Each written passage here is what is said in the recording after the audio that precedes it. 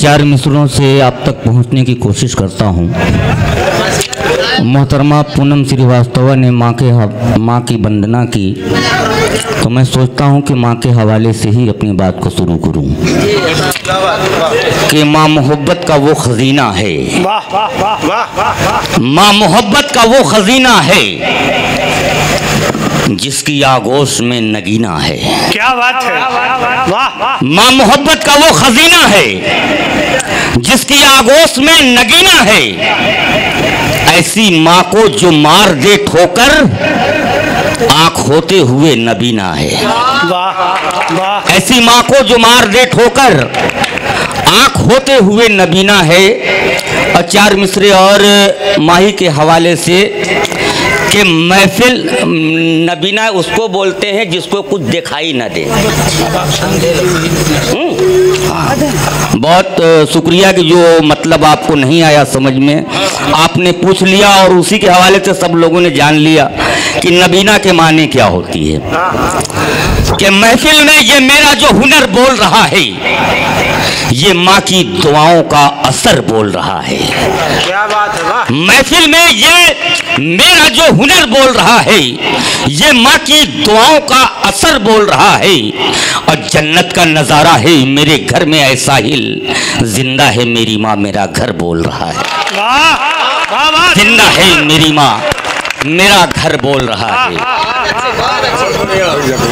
और ये इल्मो अदब की महफिल है।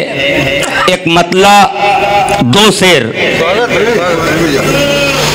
के नकाब, रुख से हटाने का नाम मत लेना।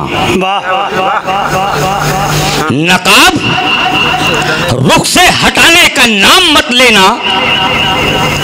नज़र से तीर चलाने का नाम मत लेना। क्या बात है। बहुत बढ़िया। बात सीधे सीधे आप तक पहुंचेगी। नकाब रुख से हटाने का नाम मत लेना। नज़र से तीर चलाने का नाम मत लेना। और नहा रहा है जमाना इन्हीं उजालों में। क्या बात। नहा रहा है जमाना इन्हीं उजालों में। चरागे अमन बुझाने का नाम मत लेना। चरागे अमन बुझाने का नाम मत लेना। और ये शेर डाइस पे जितने हमारे अहबाब बैठे हैं उनके हवाले से कि अदब की दुनिया में रखते हैं हम अलग पहचान। अदब की दुनिया में रखते हैं हम अलग पहचान।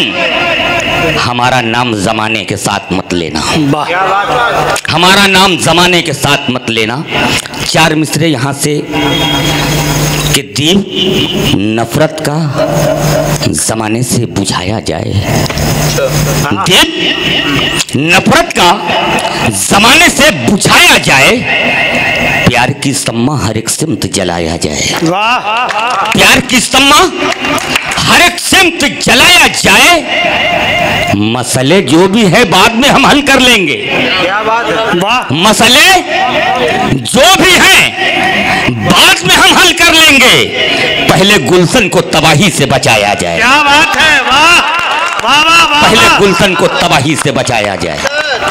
वाह वाह बहुत बढ़िया। गज़ल का शेर यूँ आया कि बैठा जो तख्त पर तो वो मगरूर हो गया।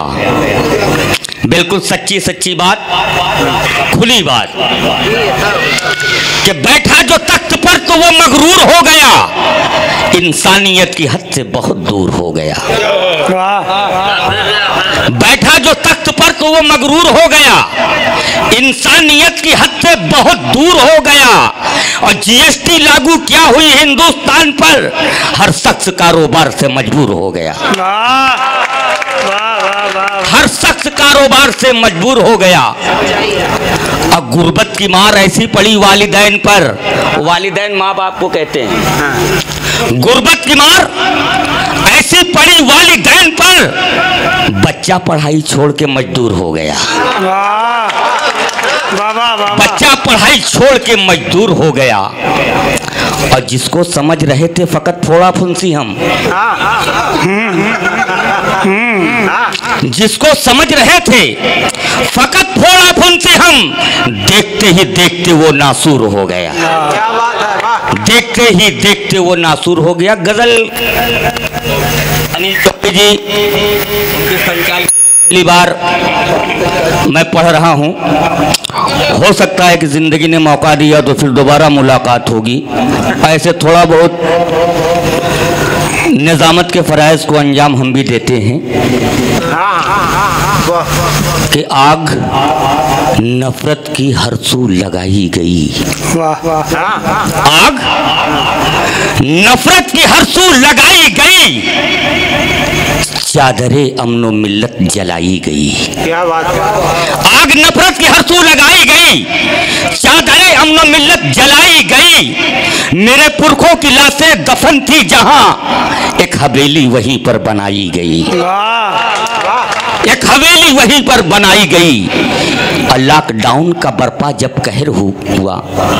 लॉकडाउन का बर्पा कहर जब हुआ, बच्चे और बच्चियों की पढ़ाई गई। बच्चे और बच्चियों की पढ़ाई गई, और ये शेर बतौर खास कि जिसने बेटी बचाओ का नारा दिया। जिसने बेटी बचाओ का नारा सामने उसके बेटी जलाई गई। जिसने बेटी बचाओ का नारा दिया सामने उसके बेटी जलाई गई। और जिसकी डोली उठाने का अरमान था। बहुत बढ़िया। जिसकी डोली उठाने का अरमान था आज अर्थी उसी की उठाई गई। वाह वाह वाह वाह वाह। आज अर्थी उसी की उठाई गई और अपने हक के लिए जिसने खोली जबान। अपने हक के लिए किसान आंदोलन चल रहा है। अपने हक के लिए जिसने खोली जबान। गोलियाँ उसके सीने पे चलाई गई। गोलियाँ उसके सीने पे चलाई गई और मैंने ही दान अपने लहू का दिया। मैंने ही दान अपने लहू का दिया। मेरे खून से होली मनाई गई। क्या बात अब बेवजह सरहदों पे साहिल मिया। बेवजह सरहदों पे साहिल मिया कितनी माओ की गाढ़ी कमाई गई।